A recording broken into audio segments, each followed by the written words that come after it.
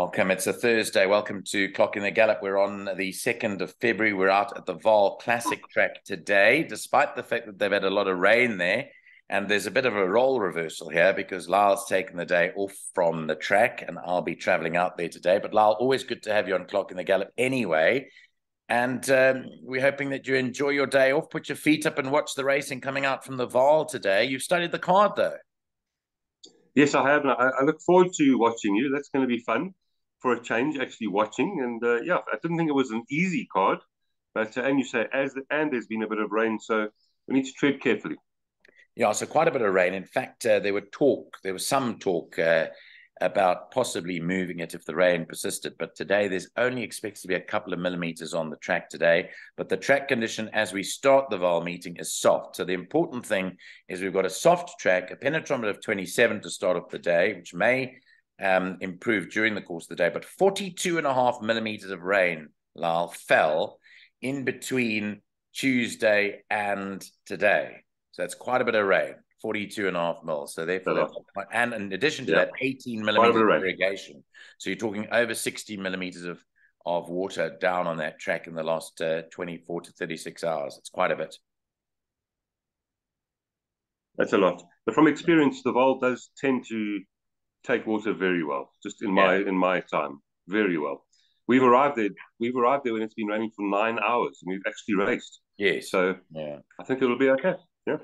So very quickly, uh, Marco van Rensburg uh, preempted his uh, return to the saddle um, on Tuesday. Um, no, in fact, I think it was on the weekend. Um, uh, well, it might have been. I don't know when it was. Was it? Was it Tuesday that he that he tried to? Might be right. He had Tuesday, one. Ride. He was there on Tuesday.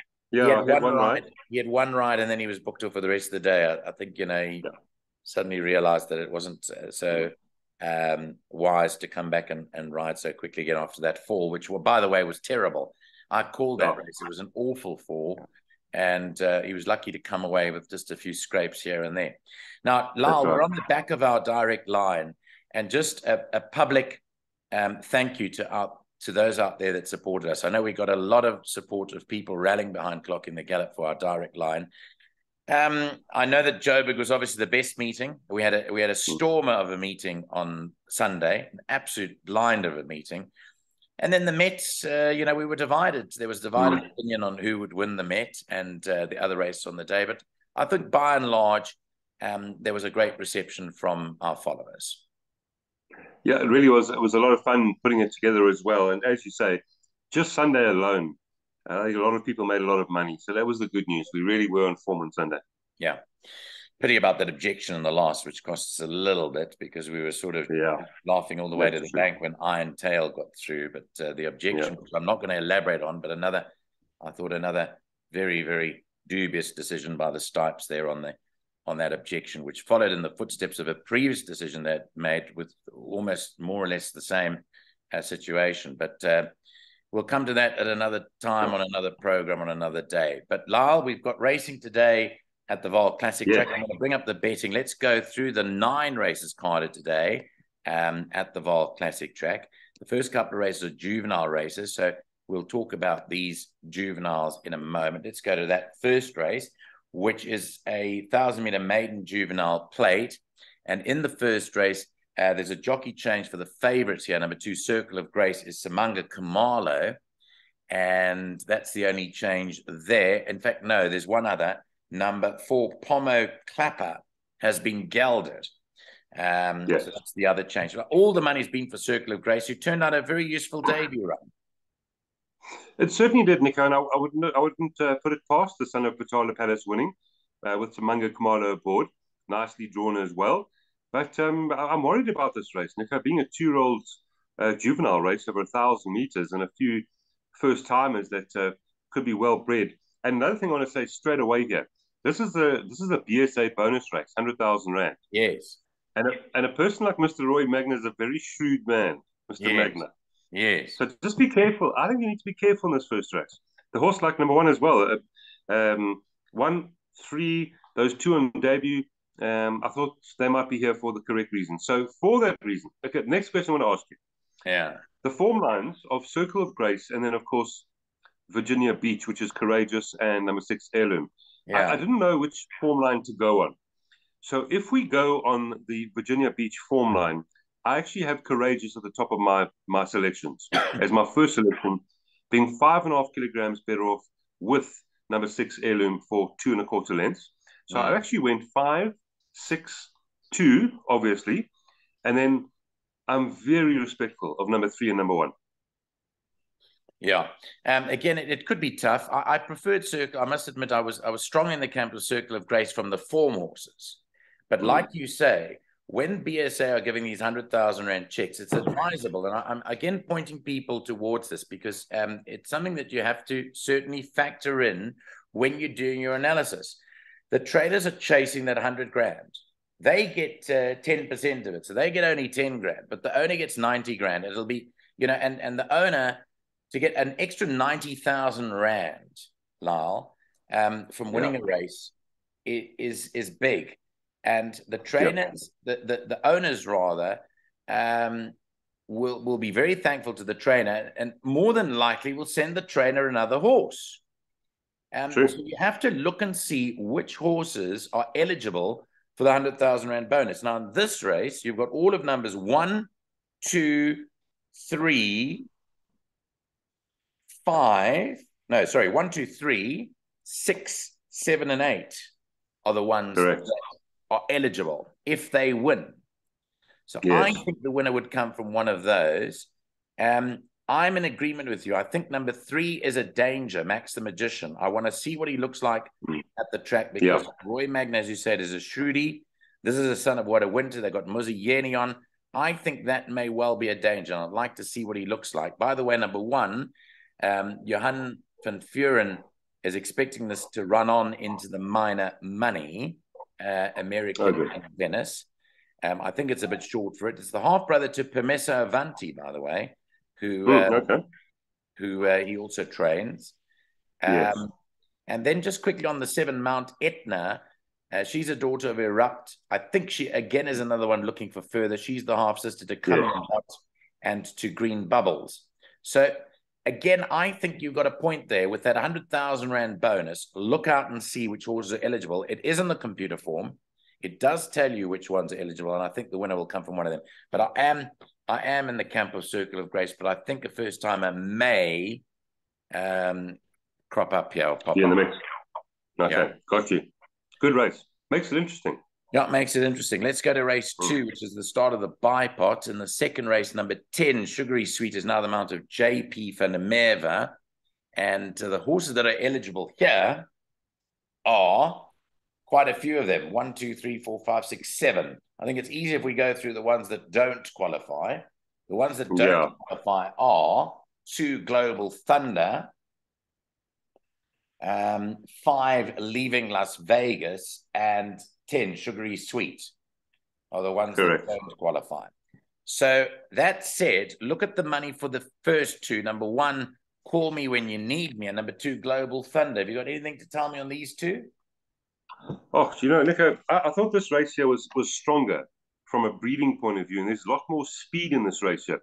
So for that reason, six first timers. I look at the mares, of course, and um, the one horse, obviously, the money coming. The mare won from 12 to 16. The two Global Thunder, the mare won from 12 to 14. Definitely speed there. Speed in that five, leaving Las Vegas. The mare, in fact, won over a thousand meters. The six, Missed in Scotland, the mare won three times from 800 to 1200, so a lot of speed there. Move and over, number seven, the mare won over 1,000. The eight, Spring in Heaven, also five wins over sprints, this mare. And then uh, number nine, Stormy Choice, also won seven times the mare from a 1,000 meters upwards. So yeah. to be honest with you, Nico, I thought this was an incredibly difficult race. And uh, I don't mind if you laugh at me with my selections. I'm probably going to lean towards a horse like number nine from five and seven, but I have no idea. I'm, yeah. I'm thumb sucking. Yeah, very tough indeed. Um, this race again, we're going to revert to um, what we see on the track. Um, I thought the one was bred to go further, being a daughter of Master of My mm. Fate. To be honest, um, I see there's a lot of support for it into thirteen to ten, but I think the jury may well be out on that. It's the half sister to Bumrah, um, who's by Flower Alley. I just think that needs further. I'm interested in the support for Corey Lensley's horse, Global Thunder, because the mother, uh, Reine Tonnerre, won at two years old. So she was a juvenile winner. She won when she was two. So it comes from a bit of juvenile form. But the thing that interested me here was was the six, funny enough, missed in Scotland. Mm. Because we know how good Paul Matchett is with the babies. And this is his first baby to run for the season. I looked it up. Um, and he is he does train juvenile winners, and this is 20 to 1. Again, I don't I don't think that's out of it. Uh, the nine, no. David Nieuwenhuizen stable back in form. This is littered with issues. And then of the ones that have run, I funny enough preferred the seven to the eight. I think the betting mm, prefers the seven to that, but I do prefer move on over to Spring in Heaven. Um, yes. Again, you mentioned it. I, I don't like this race. I think the first time no. may well win, but the question is which, which one? Yeah. Which so one? I'm glad I'm glad you're on course because you can have a look at them. And then just to mention that BSA again, um, a certain Mr. Arun Chadha, also a very shrewd man. He knows yes. where the BSA races are, and he's got yes. two runners here. You got as we said, yeah. seven and eight. So yeah. beware there too. Yeah, uh, load up in the opening leg of the bipot. Be warned that that is mm. not easy. Put in quite a few. No. Race yeah. three is the start of the PA. It runs at 25 past one. It's a maiden plate over 1,450 meters. Here there are two scratchings number four, Broadway, and number 11, uh, Chateau Futura a jockey change. No, there isn't a jockey change, but there's a blinker update. Number eight, Williamson has now got blinkers on. Well, this horse, Slinky McPimpy, may be the shortest price. It is the shortest price horse in the day. And uh, Philip Vermeulen, we are chatting about him the other day. Just a wonderful mm. chap. Uh, they won yeah. again with Savannah Storm. They won the Wolf Power 1600. Um, they've done so well with that horse. But but this horse is at three seconds in a row. Looks to win the favourite. Yeah, thank goodness we've got one best bet on the card because I, I can't see this on paper. This horse can't lose. Um, the the son of Coup de Gras, the form lines are fine. The mare was talented. The 1450 is going to be no problem. The draw of seven is okay. So certainly best bet on the card. I don't like the price at four to ten, but I do think that he'll win. And then after that, I was just trying to find a bit of value in the form of number nine. Count your chances. Yeah, stop there because they've just, they've just scratched that. I'm just looking now. Oh, the nine. The nine, nine, not eating up has just been scratched about uh, five minutes ago. Okay. Yeah. Well, it's making the race easier for the favourites. Then number 10, Efficient Trade, I thought could uh, be an improver with those blinkers on. And number two, Fast Duty. So this is quite an easy race. I think one from 10 and two. End of story. Yeah, I'm going for one. And the horse that I like to improve a little bit is number six, Air Fusion um, purely on account of the fact that the mother IC Air was a prolific stayer mm. and is related. This horse is related along the lines to that uh, very good filly, Make It Snappy, who everyone yep. was all the rage on for the Met. So I think this horse is going to improve over the extra trip, and it got Gavin Lerena back on. I mean, it's interesting to see Gavin has finished 11 lengths back on it, uh, 13 lengths yep. back on it, gets back aboard, which is strange. Yeah. But mm. two. So um, I thought that was possibly the improver, the 14 to 1 horse, number six, Air Fusion. So scratch gotcha. four, nine, and 11 on our scratch in the third race. But I think it's going to take a good one to beat Slinky McPimpy. Yeah. Race four is the start of the pick six at two o'clock. It's a pinnacle stakes, fillies and mares over 1600 meters. Um, here, there are no changes in the fourth race. And there's a field of only seven, but I thought this was trappy.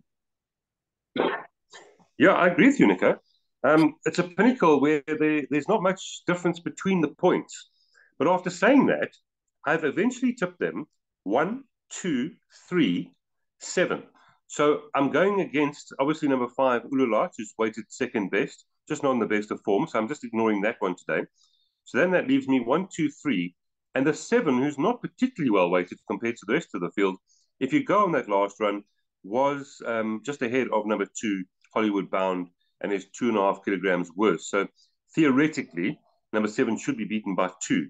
So I'm going one, two, three, and seven.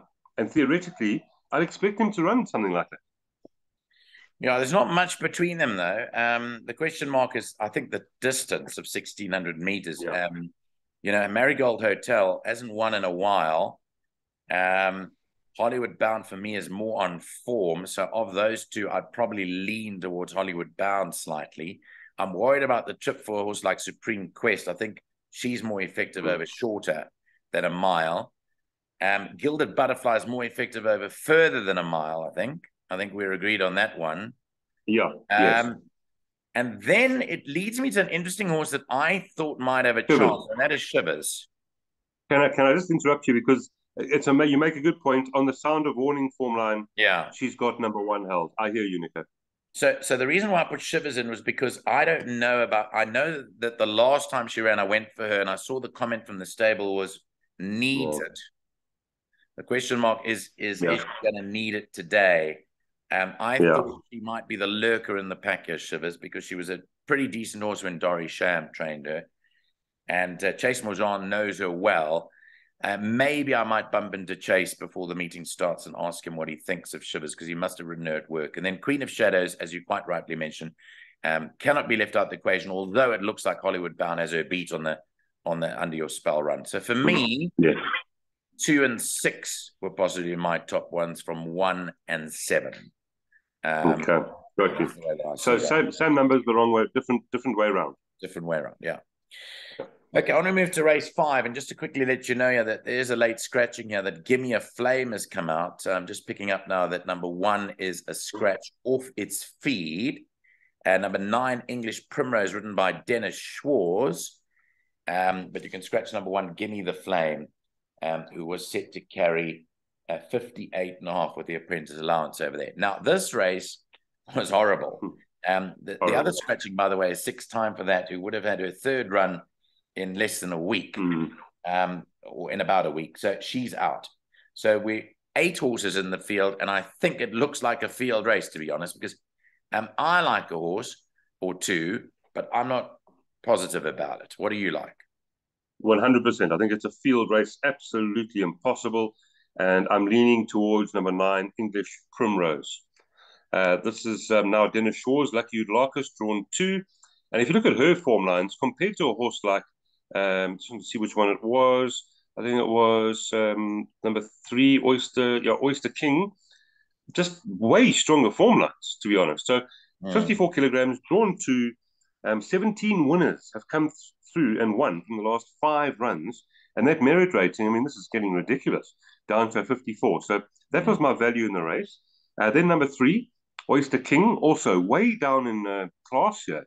Even though carrying 60 kilograms, I know this horse well. Chris always chats to me about this horse. And when he's well, you have to be very careful of him. So he could win a race like this. And of course, number two, Wandering Star, who on that run behind Pragmatist was one and a quarter lengths behind number six, who's now scratched, of course, but would have been four and a half kilograms better off. So I've gone nine, three, two. Even a horse like number seven, but very open, Nico. Don't like it.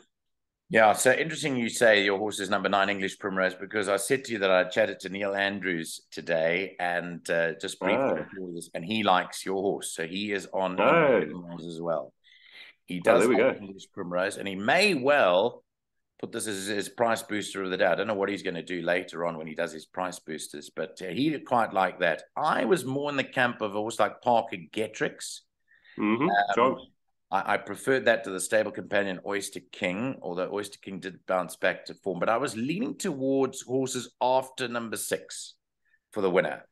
Um, yeah. I thought that the winner would come from seven down.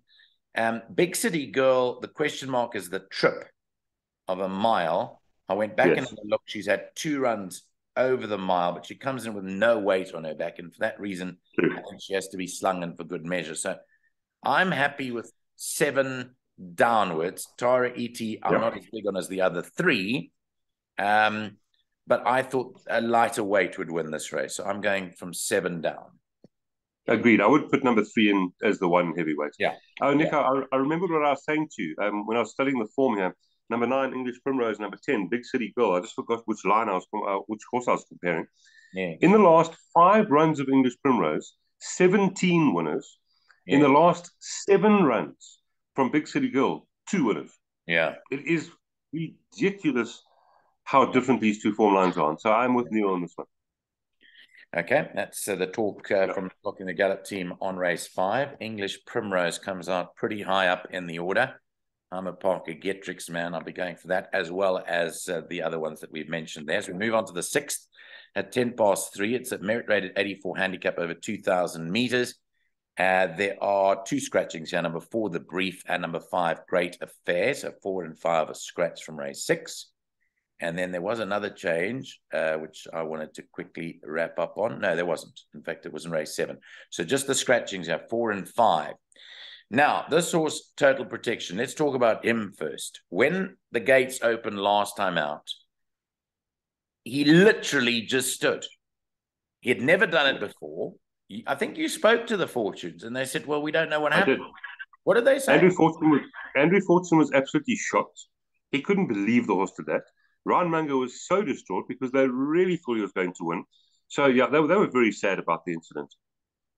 Now, what does that mean for today? I mean, there's no guarantee that he's not going to do the same thing today.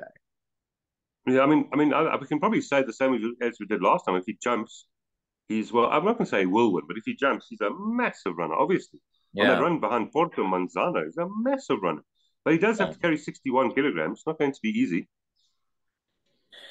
So this horse Celestial City is the favorite at 14 to 10, and then you've got Total Protection at 22 to 10, and then you've got 9 to 2 and 7 to 2 Future Pearl and Top Sail. Again, whilst it may appear very simple to work out, is it? No. Let's do this for the fourth consecutive time, Nico.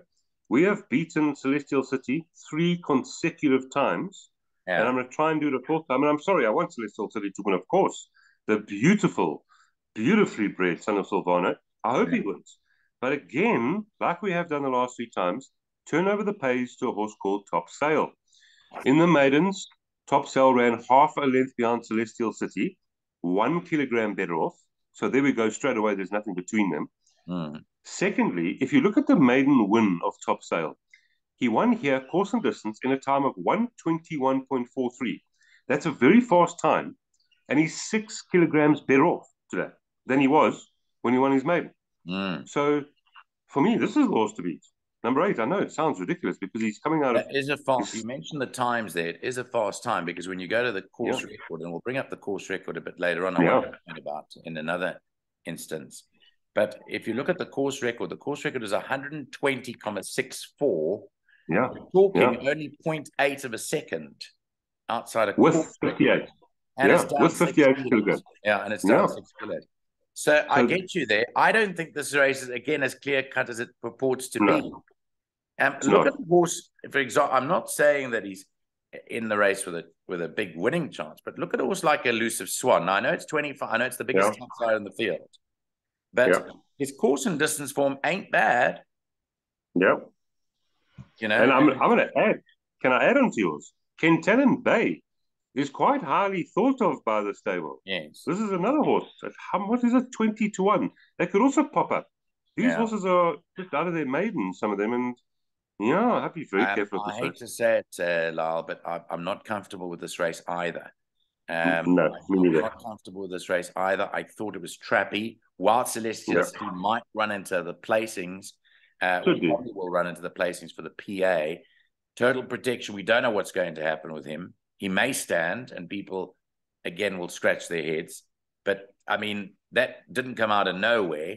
Or it might have come out of nowhere, but I mean, we can't take it for granted that he's going to go today. If he does, he's still got to carry the 61 to win. And he's got to give top Correct. sale nine. Nine. To a horse nine that ran 0.8, a horse that ran 0.8 of a second behind the course record, he's got to give nine kilograms. When you do a bit of lateral form using Billy Bowlegs, now if you do yeah. the exercise, and I promise you, I spent a lot of time on this last night. When you look at Billy Bowlegs and you look right across all the form line there, Future mm. Pearl comes into it because it's yes, it would. three and a half. And remember, we took Future Pearl strongly on the show when Sianda Sasiba rode it to win it was eight to one. We couldn't believe the price. It shortened to four to one and won like a good thing, beating Lebecchio. I'm yes. worried about this race. Me I'm too. And the only I had I had uh, Future Pearl as my fifth selection.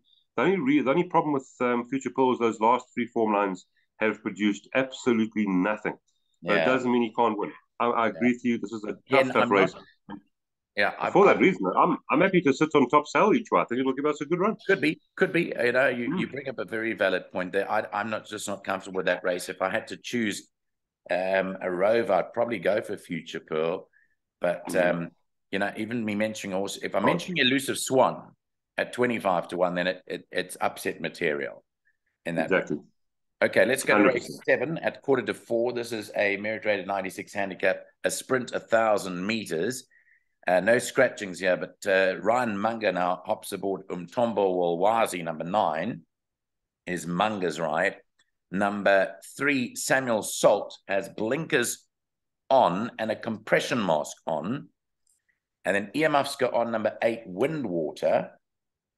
And number nine has Alamites in front only. So there's been a few changes here to this race. What's your feeling in race seven?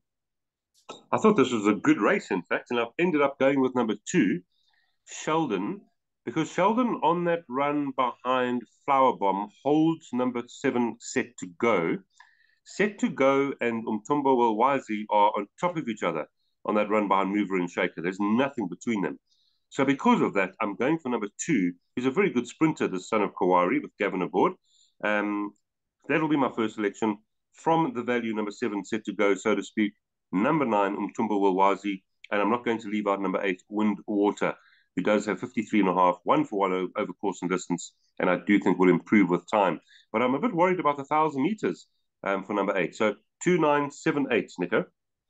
2798. My um my gut feel here, if the if the track stays wet, is to look for horses drawn bigger up the straight. Mm. Um, but if you look bigger, you're going to find horses like May Queen, who won very well last time out yep. um, with Randall Simons. Um, you're going to find those horses as opposed to maybe even horse like Samuel Salt, as opposed to Sheldon and uh, Set to Go and um, Windwater drawn to more more towards the inside. Um, I'm expecting uh, the interesting choice of rider for Windwater. Um, what do you make of that? Kamala hardly rides for Jan, and um, has had very limited opportunities for that stable. So that's a very good point you, that you do make there. I mean, this horse is doing absolutely nothing wrong. Yeah, uh, 53 and a, and a half kilograms. I would not leave this out of anything. I yeah. just don't know how good he is um, when you look at uh, form, I keep on going back to the form lines of Sheldon. And if you look at Sheldon's run against, and then you know Samuel Salt and May Queen, Sheldon's run against a lot stronger. I know he's giving weight away. So yeah, the yeah. interesting horse is number eight, Windwater. We'll see how good he is today. Yeah, he's got those earmuffs on, which is an interesting piece of equipment change there. He's at four to one. You mentioned set to go and the line of form with Sheldon on the run to. Uh, I, I, take it you're going on the run to Flower Bomb, are you? Flower Bomb run, yeah. The only difference there, Lyall, is that uh, Set to Go did not have blinkers on that day, or did he? No, I think he had a tongue tie. Um, he seemed to run better with the blinkers on, but he's not the easiest horse to ride by the looks of things. If you if you study the form, but I quite liked uh, I quite liked Set to Go. I thought he had a chance. Um, Lyall looks like he's frozen there for some reason. I don't know what's happened there, but um, again, uh, Lars leaning towards Sheldon. He thinks Sheldon is the horse to beat there. He's at five to two. Um, and uh, Lyall, you're back with us. Uh, I was just mentioning Sheldon. I was I was more in the camp of um, of set to go than I was on Sheldon. But but you mentioned that there was that form line there, and then Windwater, yeah. and then at a huge price, uh, May Queen because it ran such a good race last time out. Anyway, yeah, yeah. moving along to race eight see if we can pick out anything in race eight at quarter past four. It's a fillies and mares 90 handicap over 1200 meters. Uh, no scratchings here. Chase Maujean rides number four, Golden Aspen, as the jockey change. And you can put a pressure halter on number two, Midnight Gem. The favorite is Cold Fact, won so well last time out. They put the pacifiers back on, 12 to 10 to carry 60 and a half. Yep, that's going to be my selection with the big weights and all. Cold fact, the way that he that she did win last time, like you said, that was so impressive. She is up one and a half kilograms, but again, look at that time, Nico. 67 point something. I've just blocked it off in my book. 67, 87. Record, yeah, 67, yeah, 87. Record, course record 67.5. Yeah. So, yes, is up one and a half kilograms, but the way that she won last time, she will be my first selection if she runs anything like that. Wow. Number seven, Rockets Red Glare at 8 to 1, definitely my value because on the penultimate, did beat both Silver Winter and Aga Heat, who both come into the play. And then number four, Golden Aspen. Um, four kilograms better off with Cold Fact for five and a half lengths last time. This Golden Aspen's been good to us um, on our show, so I yeah. won't leave her out. So not easy. One, seven, four, five, six. Okay. Um, just quickly go back to the previous race. Remember, I said I was talking about times there. Um, the reason yes. why I like May Queen, did you see the winning yes. time last time out? Let's have a look there. Yeah, 50. Oh, geez, that's ridiculous. It ran, wow. in, it ran, it won May Queen, won in a time of 55,51 over a thousand meters. The course record wow. was 55.31. So it was 0.2 seconds outside the course record, and it's sitting at at 16 to 1 May Queen.